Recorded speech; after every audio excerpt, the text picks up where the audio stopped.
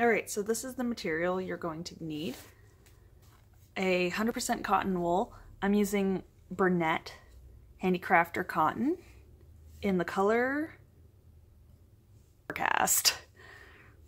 And I'm just using the recommended um, hook size.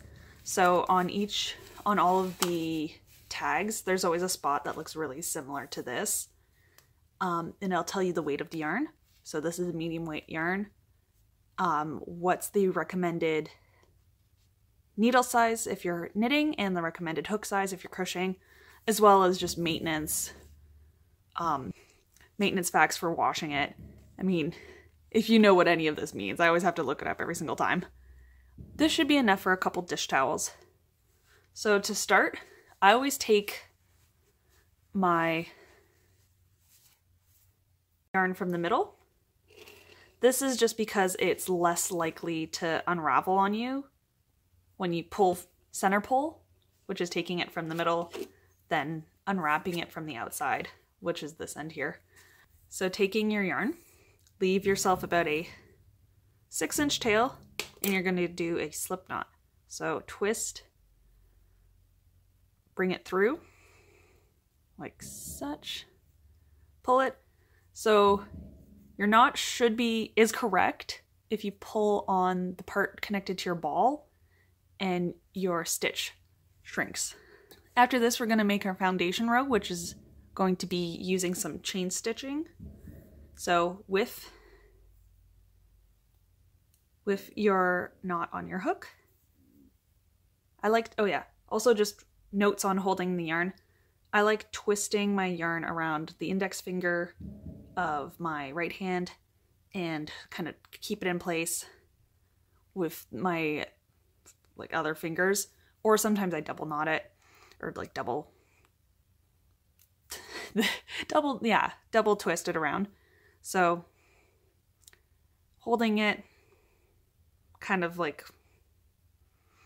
I don't know what a good comparison this is kind of like a not like a pencil. Um some people hold their hooks all the way down here other people I like holding it really close it's kind of personal preference but just hold it in a way that it's comfortable and don't like grip it just like kind of loosely hold it and we're to do our first chain stitch. So grabbing the yarn, kind of move your hook downwards. Ooh, that was a bad example. Downwards and through. So you've just seen what the most probable outcome of your first stitch is going to be is that you drop it. Just grab it again. There's no shame in the game. So grab, sort of twist downwards and across, or just pull pull through. I like twisting downwards just because it means you're not going to get yourself bumping into this hook, into the stitch here. So this is what four chain stitches look like. So the little V shapes, each V is one chain. So for my dishcloth, I'm going to make mine 20 stitches across that's going to be about six inches. Um, really, it's personal preference on how far you want to go. Um, and also this will look a little bit longer than your next row will be. So just be mindful of that. So I've got four, grab, grab, grab, and I didn't tell you what kind of hook I'm using. I'm using the recommended 5 millimeter US size 8 because US decides they have to always have their own naming convention for everything. Um, this is, my friend got this when she was living in Australia, so it's made out of Australian wood by Art Viva. You don't have to be so fancy with your your hook. This just was the only size, the only hook in the size 5 I can find in my house in a 5 millimeter. But um, if you go to your local craft store, they will have all the hook sizes and just grab what's recommended for here when you first start off. And then, or if the pattern, if you're using the same yarn as your pattern, just follow what they're recommending. You get to go more rogue as you get gain more experience. So pull through. Oops, ah, see? And don't be discouraged if that's what happens to you the first couple times, is that it doesn't go right away. So yeah, pull. And I would also say, so for tensioning, this is, I'm a really tight crocheter, so I like keeping my yarn a little bit tighter. Don't just tug on it. This is not helpful. Like if your yarn is sort of straining on this side, you, you done, you, you done bad. So, but you also don't want like this. You want just sort of loosely on your hook so it can kind of shift around a bit. Oops. and you just work it through. And also, if you drop it, just pick it up, back up. Look for the V's. Oh yeah, and this is what the back looks like. So don't, this is your back. Look for the V's. Hook. Don't know how many stitches I'm at. I for, forgot to count. So 1, 2, 3, 4, 5, 6, 7, 8, 9, 10, 11, 12, 13, 14, 15, 16, 17, 18, 19, 20. 20! I've got two extra. So this is your first row. So this is your foundation row. So next, we're going to single crochet all the way across. So to start the row, we're going to make a next one chain stitch. So what we've just been doing, right, that's this guy here. We're going to actually skip it and go into the V, take our hook and put it in between the little V's here and this piece of yarn here. So in, oops, my God, inwards, like this. So there's going to be three pieces of yarn on your hook. So the two V's of your chain, grab the yarn, pull through, two pieces of yarn on your hook, grab your yarn again, pull through, and there's your first stitch. Ooh, and this is what it looks like on the other side. So in, pull, grab, pull through. And then just sort of adjust your tension. So boom. And you might be noticing that with my fingers, I might be, I'm adjusting it. That's just because I'm very, I'm a very tight, tension filled knitter, crocheter, both, both honestly. And that kind of reflects on how much room I give myself to make these stitches. But this is going to be probably the hardest row of your project. I'm telling you right now. As you try to place yourself in the in your chain. So that's what four looks like. This is what the back looks like. So yeah, you might be seeing me taking my thumbs and sort of twist, moving the stitches around. Um, really, if you're a looser crocheter than me, this will not be the situation. But yeah, just go, like go through both these. You can also just go through one. I know a lot of people that that's how they do it. I personally don't care for how like it it, it works, but I personally don't care for how it looks like as the final product. So that's why I, I always go through both. But if you are struggling, like if this is not working for you and you feel like quitting, like, don't. Like, definitely just go through one half of it and just be consistent. Keep going on, like, one side all the way across.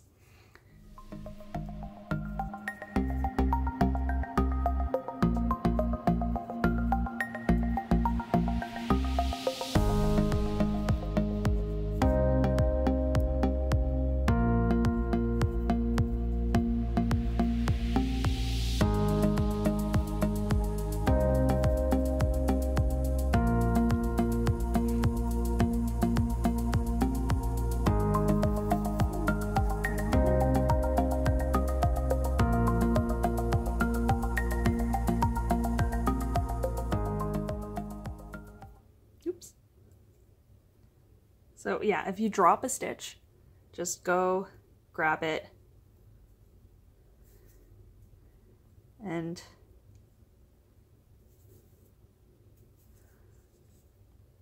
okay. So I'm at my last chain. I know sometimes it might be looking, it'll look a little confusing. And this piece here, oh my God, this piece here might look like a stitch. If it focuses this one, it's not because you can tell how it's a little bit smaller and it's connected to your knot. Just don't, don't try getting yourself involved in that situation. So last stitch, and also just count.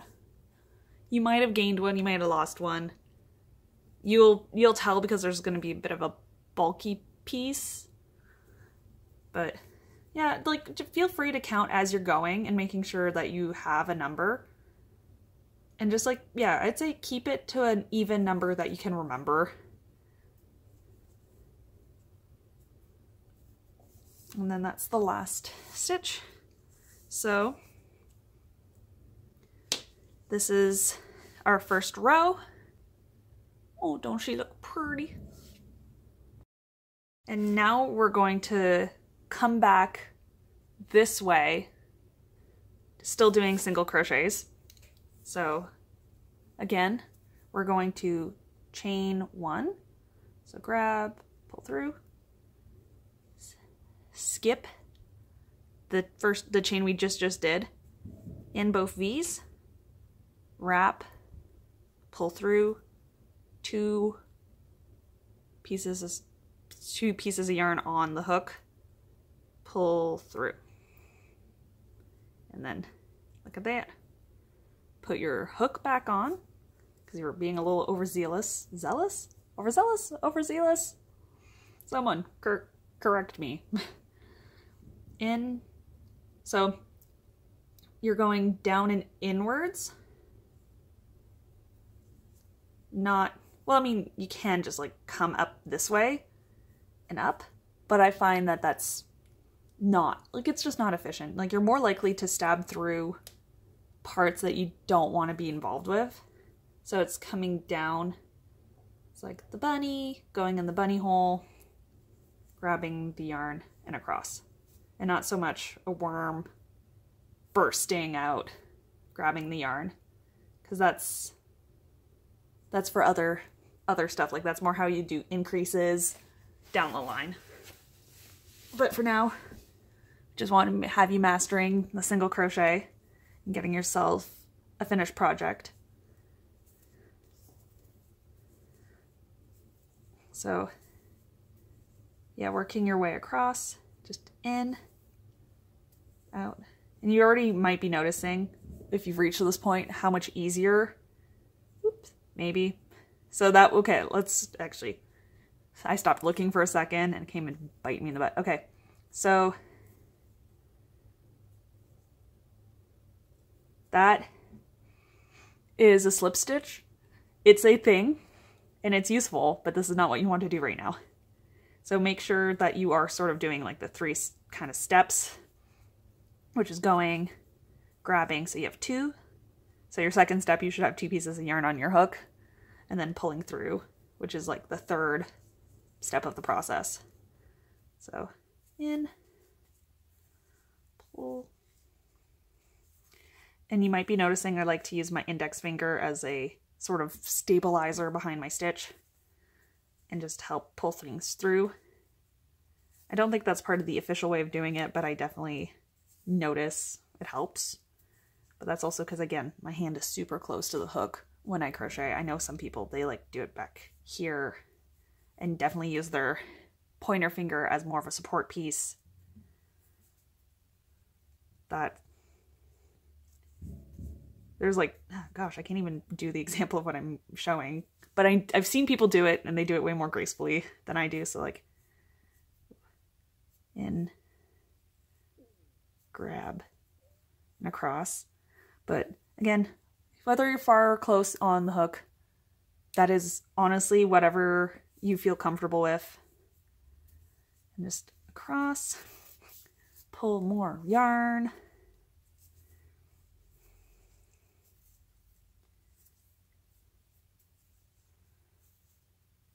And last stitch of the row. So this is what we have. Two rows in, plus our chain foundation row. Get this guy out of the way. So for your dishcloth, you can definitely just keep going until you have a square of just single crochet, keep going. You'll have a beautiful dishcloth that's definitely going to stand the test of time. But I'm going to be a little a little cheeky and I'm going to teach you what a double crochet is and kind of get a little pattern going in your dishcloth. So to start a row of double double crochets, chain one, wrap your yarn around your hook, skip your chain you just made, go in the stitch like you're going to do a single crochet, pull through. Oh my, I have three on my hook. So pull through one. I still have three on my hook. Pull through two. And then pull through again. So wrap in, three on the hook, slide it through one loop, slide it through two loops, slide it, oop, oh my god. If, okay, yeah, so if your yarn splits as you do it, I always just try to bring it back to a point where I can see everything and nothing's hooked or anything like that and just try it again. Downside of cotton is that it splits way more than acrylics and other yarns. So that's what we got so far. And we're going to add it, keep going all the way across. And you'll notice that your row of double crochets is taller than your rows of single crochets. I mean, because they're kind of taking twice as much space and a little, a little, little holy. All right, so I've just double crocheted all the way across and I wanted to show you something that a lot of new crocheters get hung up on. So here's my last stitch and there's this little hanging bit here. This is the chain from my previous row when I was making this row this way. This is not a stitch. Don't try to go in here because you're going to add on stitches that you didn't mean to put onto your project.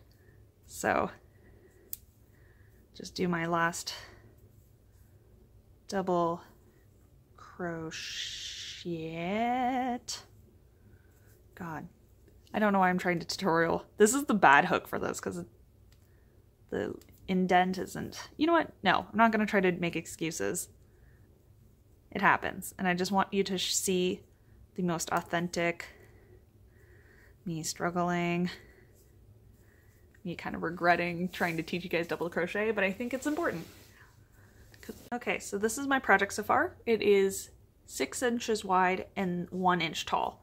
So I'm going to single crochet all the way across continuously until I have a project that is five inches tall and then do kind of the opposite here, double crochet and then two rows, a single crochet and yeah, let's uh, let's do this. Yeah, so just remember chain one and then do your stitches all across.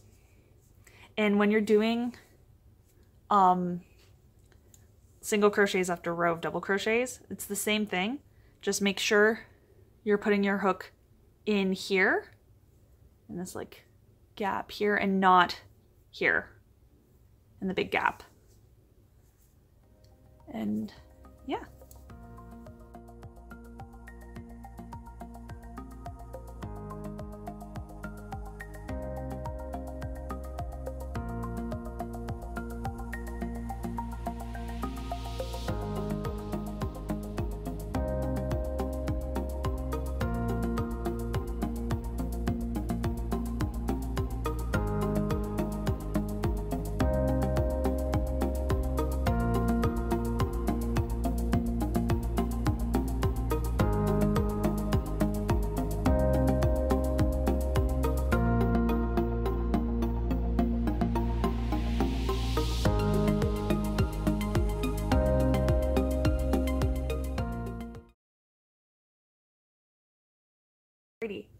So I'm at five inches in total.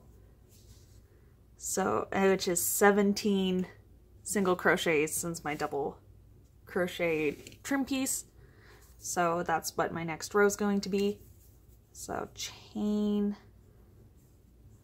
wrap in,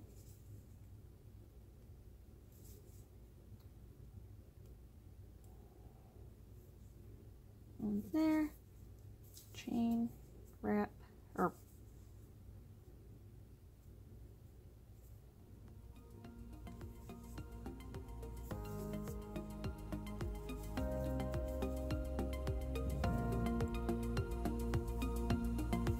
Okay. All right, so we double crocheted across. So we're going to make three rows of single crochet and we will have a beautiful dishcloth. So chain,